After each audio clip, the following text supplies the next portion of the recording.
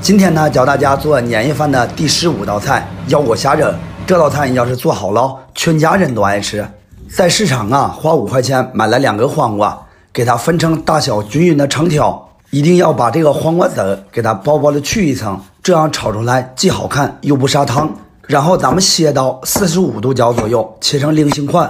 锅中做水，少来一点油，加一勺盐，这样炒完的黄瓜还有虾仁啊，比较有底口。先把虾仁烫至变色，再放入黄瓜。家人们，我主页呀分享了好几百道美食教程，如果能帮助到大家，给你兄弟点个小红心呗。炒完的黄瓜呀，用凉水冲洗一下。锅中放蒜片，炝香后放入半勺清水，适量的盐、鸡精、白糖，倒入烫好的主辅料，迅速的大火翻炒。翻炒均匀以后，立即淀粉勾芡，迅速的让这个淀粉全部包裹在这个虾仁上面。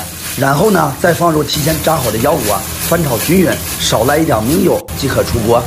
如果在热门刷到我这个视频呢，千万别忘了点个关注。过年想吃什么做什么，可以反看一下。